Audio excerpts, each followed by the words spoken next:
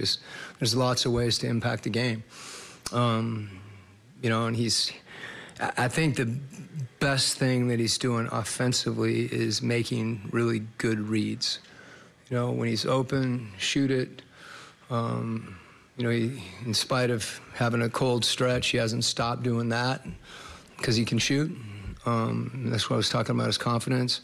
He's driving the ball, he's on the rim, and you know, even more importantly, because you can, you know, you can rebound and defend whether your shot's going in or not. And oftentimes we can, you know, our, our say our effort, our focus on some of those absolutes in the game uh, can be blurred. Um, you know, or correlated to whether or not we're making a shot or getting a dunk and things like that. And the players that are able to separate that and continue um, to give that type of effort and focus in those other situations, you know, they help you win games like you did tonight. And we talked about not judging the ball, whether the ball goes in or not, as whether it's a, a shot, a good shot or a bad mm-hmm. shot or anything like that. But with just where you guys were finding those looks with Trae early in the game, with his shot not falling, just mm-hmm. what does mm-hmm. it say about him taking a step forward as far as just being a leader and all of that? Yeah, you know, I, I think that's something that uh, you know we've talked about. You know, I, I told him uh, there was a possession in the first half where I felt like he should get more space and attack and get to the rim, um, as opposed to you know taking a tough uh, contested shot. Um, sometimes the ball's in his hands at the end of the clock, and that's hard. Um, but I thought he did an excellent job of getting in the lane and having his eyes out. And then when they did play him for the pass, you know, he had that stretch where he was making that shot. But there was one time, um, I think it was JJ in the high quadrant. He just pulled his man in and made a simple play. And you know, I, you know, when they're blitzing him, particularly early in the game, his ability to recognize I'm being blitzed. You know, I need to look for JJ in the roll or throw ahead or whatever the case may be. Um, that's really important to our group where you know, he allows the, the, the he allows the game to come to him, I should say. Um, so obviously that was that was another positive. And Coach Quin, talk about your active hands tonight, the little things on defense. Couldn't quite hear you. Uh, your active hands on defense, active hands, activity night. Yeah. Getting those deflections, interrupting Barnes drives, Trent's drives, making them have multiple efforts on going different actions on second side, all that good stuff. Staying, staying with the fight for you guys on defense tonight, Coach Quin. Yeah, you know, I, I thought, I thought we came out with a real focus.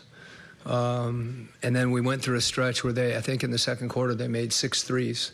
So it, it, you, we, I didn't feel like we were rewarded for that as much. Um, you know, some of them maybe we shifted off a shooter too much or whatever the case may be, but they got hot.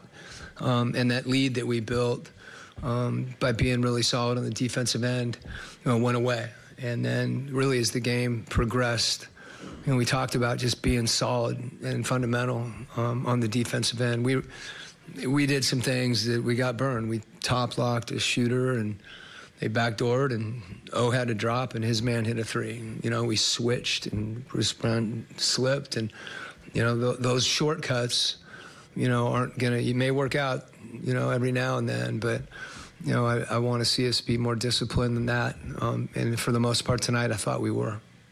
Coach, you talked about your team being connected a lot. Um, a lot of ebbs and flows in this game. How would you rate your team's connectivity tonight? You know, I, I, think there's been, you know, I mentioned the connectivity and the competitiveness and the unselfishness. I, I felt like we we lived in that space tonight, um, and, and, there's a number of games where you know we've done that of late, and you know it hasn't always worked out with the win on the board. I thought, you know, tonight Miami, Sacramento, um, you know, the score didn't necessarily reflect that. Um, you know, we didn't have that against Cleveland. You know, we had it tonight, and. Uh, you're not going to have it every night, but that doesn't mean you can't strive for it. And you, you may not have it for 48 minutes, um, but that's part of it. You know, to be able to, you know, to have that type of uh, de- determination, you know, and perseverance when things aren't going right to, to dig in. Coach, I wanted to go back to Trae Young. He, of course, is coming off of only his second game off concussion protocol. He took two charges tonight to foul out Dennis Schroeder. Just talk about his guts and how much that took, and then his continued role um, in leadership this year. Yeah. Well, uh, uh, you know, Trae, he, he, he, when he shifts off the ball, he's got great anticipation. You know, and he, he gets his hands on some balls, and, um, you know, his activity is really important for us. And, you know, I think he, he knows he's not going to block a shot. Um, but that's what the charge is. That, that's a way that he can impact the game defensively. And as you said, I mean, that's been something he's done consistently this year, just giving his body up defensively. And as you said, you know, tonight was huge. You know, it happened in San Antonio. You know, and those are plays we we need from him. Um, you know, because again, you know, he's not going to impact the game defensively the way Jalen is. You know, but everybody can can do their part and give what they can give. And, and when I see him take a charge, that's that's how I see it.